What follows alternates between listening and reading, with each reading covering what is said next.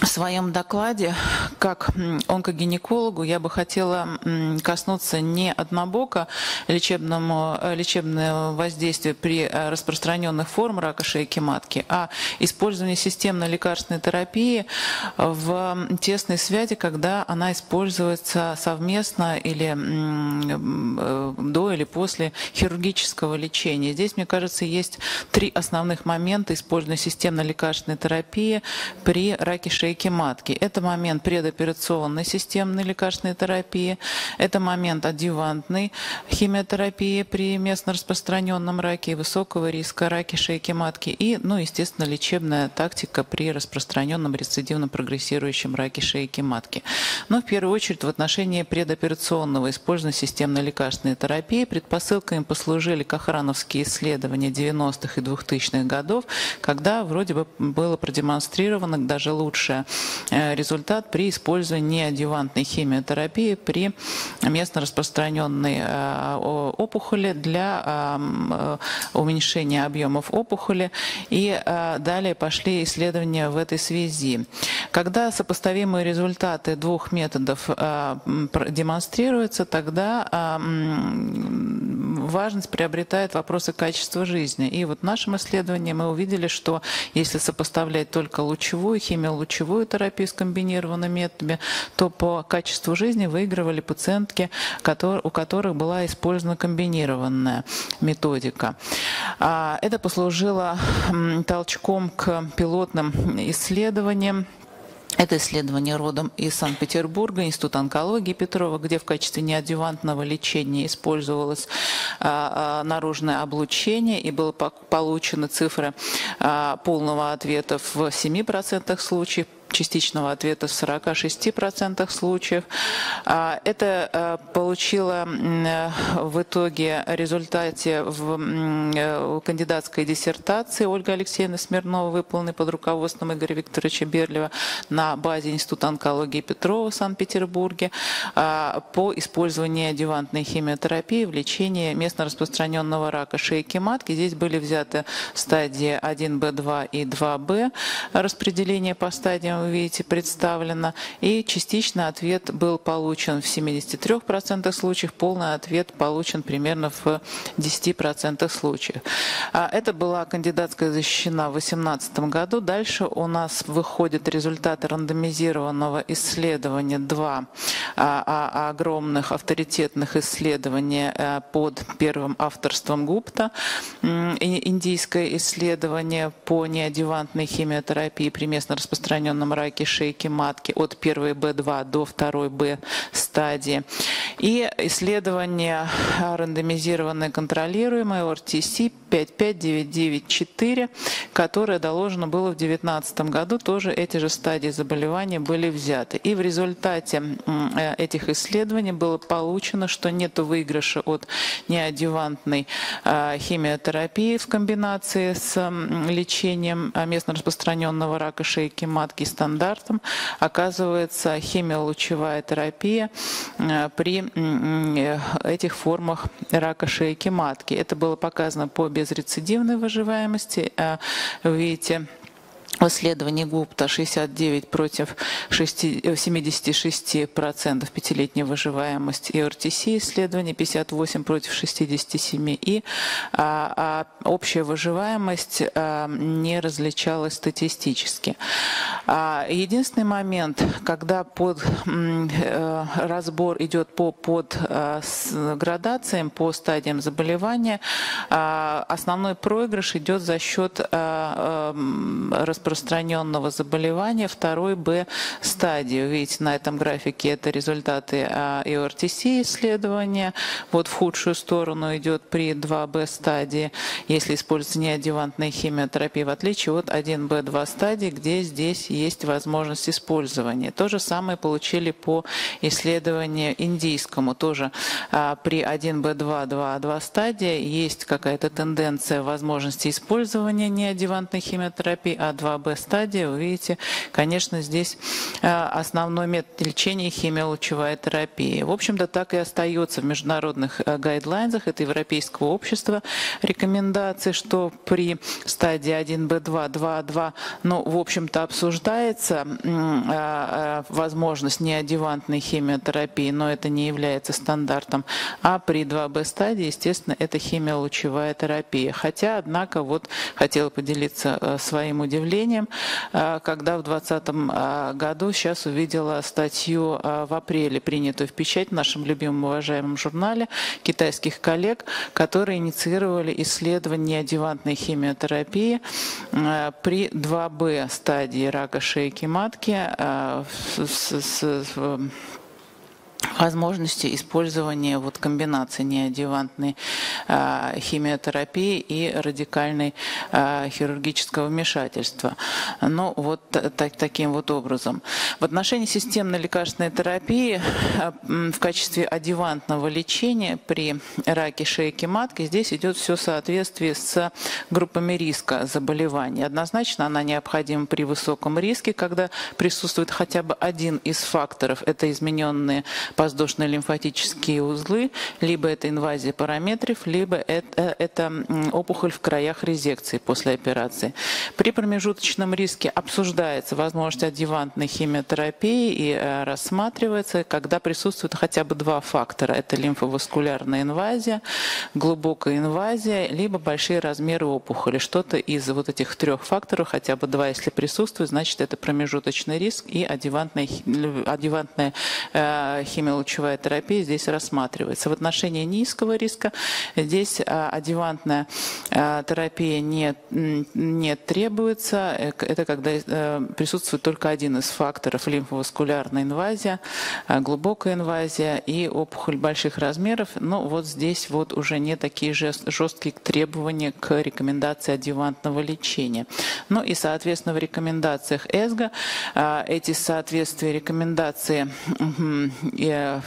прописаны, и а, в качестве адювантного лечения используется химиолучевая терапия, плюс-минус брахитерапия.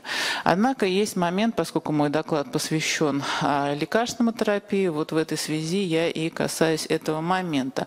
Здесь есть а, такой нюанс в рекомендациях ЭСГО, возможно добавление адювантной химиотерапии, то есть системной лекарственной химиотерапии при наличии высокого риска рецидива. То есть это те перечисленные критерии, хотя бы из один из них присутствует, который я показывала вам в таблице на предыдущем слайде. То есть вариант добавления адювантной химиотерапии рассматривается. А, как вариант мне показалось интересным публикация и выступление еще в 2018 году китайских коллег о последовательном использовании системной лекарственной терапии в качестве адюванта для больных раком шейки матки высокого риска. Но здесь взят был и высокий промежуточный риск, и вы видите, как схемы лечения были использованы стандартная химиолучевая терапия.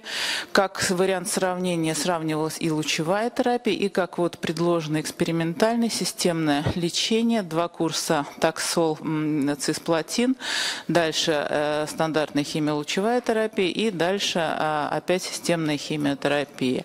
И вот в этом исследовании э, только, в, да, можно и, так, словами сэндвич его характеризовать, но вот у коллег не, не фигурирует этот термин. А, в отношении эффективности по результатам беспрогрессивной выживаемости продемонстрирован а, положительный эффект этой схемы, а, условно говоря, сэндвич, когда есть высокий риск рецидива. Вы видите верхний график, да, тогда вот этот вариант лечения продемонстрировал выигрыш. По уровню токсичности, как ни удивительно, я посмотрите, здесь больше токсичность у схемы э, химиолучевой а, терапии, а, это красные столбцы, конкурент кимо, э, э, химиолучевая терапия, и вот больше профиль токсичности оказался а, у химиолучевой терапии, даже меньше у вот этого варианта так называемой сэндвич-терапии. Хотя хочу вам напомнить, еще в 2012 году были опубликованы данные возможности тоже использования системной химиотерапии Первая фамилия профессор Зихули, а, когда тоже как экспериментальный рукав использовал системная лекарственная терапия, карбоплатин, паклитоксел и дальше а, химия, стандартная химиолучевая терапия. И по результатам а, двухлетней беспрогрессивной выживаемости, пятилетней общей выживаемости, достоверных различий между этими двумя группами не было обнаружено. Единственное, что был различный групп, групп, групп, эм, профиль токсичности. И а, гематологическая токсичность, посмотрите, была выше даже в группе химиолучевой терапии.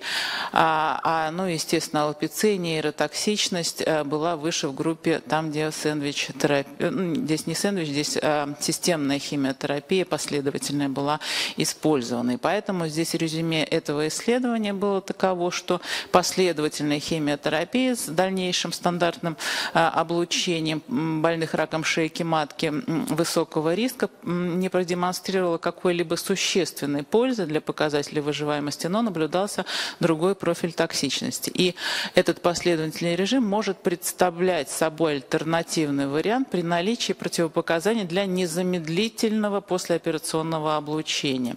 И поэтому вот эта рекомендация Европейского общества онкогинекологов э, как опция остается, но, на мой взгляд, с оговоркой при наличии противопоказаний для незамедлительного послеоперационного облучения. А еще более крайне дискутабельна возможность системной лекарственной химиотерапии в качестве адювантна для больных местно распространенным раком шейки матки. Тому послужила вот эта публикация 2018 года наших южнокорейских коллег, мета-анализ, где сравнивается стандартная химиолучевая терапия с вообще системной химиотерапией. И казалось бы, так вот на первый взгляд а, по, по вот этим графикам, которые представлены на, на слайде, в общем-то, как будто бы равнозначная а, ситуация, что химиолучевая терапия, что системная химиотерапия. Но посмотрите, здесь такой вот диссонанс, некоторая однобокость этого исследования. Это в основном японские исследования, также есть корейские и китайские исследования. Все это не рандомизированные исследования, только два включено здесь рандомизированных австрийское исследование и Соединенных Штатах. Но посмотрите, 90-х годов и даже посмотрите на слайде, невооруженным взглядом видно большая неоднородность а, многих из этих исследований. Видите, большой разброс влево-вправо по результатам этих исследований. И, в общем-то, поэтому Следующий слайд. В международные рекомендации, в частности, американские NCCN Guidelines при высоком риске рецидивирования рака шейки матки, это один из критериев, уже перечислял неоднократно, стандартом является дистанционная лучевая терапия, либо химиолучевая терапия плюс-минус брахитерапия, что соответствует и рекомендациям Европейского общества онкогинекологов. А только при позитивных параортальных центральных лимфоузлах, но при этом, обратите внимание, нет отдаленных метастазов, а все равно э, рекомендацией является э, лучевая, химиолучевая терапия с расширенными полями. И только в случае, если к параортальным есть при дообследовании еще и отдаленные метастазы, тогда уже во главу угла становится химиотерапия, и уже здесь только плюс-минус дистанционная лучевая терапия. И таким образом, а, переход перехожу к лечебно-системной лекарственной терапии, где, конечно же, здесь на первом месте лекарственное лечение. Не буду в детали углубляться вот этих э, исследований, которые уже давно хорошо вам известны. Единственное, э, на последнем остановлюсь из инноваций, э, возможность использования в настоящее время иммунотерапии при лечении рака шейки матки, которая сейчас включено в стандарт стандарты и в рекомендации при распространенном прогрессирующем рецидивном раке шейки матки, то есть новая тенденция в лечении, в лекарственном лечении распространенного рака шейки матки, воздействие на иммунную клетку, тем самым воздействие уже опосредованно через нее на опухолевую клетку. Здесь представители блокаторы PD-1 рецепторов, блокаторы PDL-1 белков и а, продемонстрировала свою эффективность а, в рандомизированном контролируемом исследовании по данным Keynote 158 э, продемонстрирован в частности свою эффективность пембролизумаб, который и вошел в рекомендации э, по назначению эм, дополнительно при лечении распространенного, прогрессирующего и э, рака шейки матки. По поскольку по уровню частичного общего ответа, вы видите, был а, достигнут достаточно хороший эффект. Это, видите, 14% при PDL один позитивных опухолях, при том, что без использ... при использовании только системной лекарственной терапии обычно этот ответ составляет 6-8%. И а, таким образом э, эти рекомендации вошли и в российские рекомендации. А, это Российское общество онкологов и Ассоциация а, онкологов России. Продолжающиеся исследования по иммунотерапии в добавлении к химиолучевой терапии продолжаются. Это дурвалюмаб а, и атезолизумаб в, в, в, в сочетании с химиолучевой терапией. А, надежда на это сейчас а, превозлагается. И таким образом, заключая свое выступление, вот, на мой взгляд, ниша системной лекарственной терапии не позиционируется только в, в, распространенных формах заболеваний, но также есть место и в сочетании в каких-то моментах с хирургическим лечением рака шейки матки. Спасибо за внимание.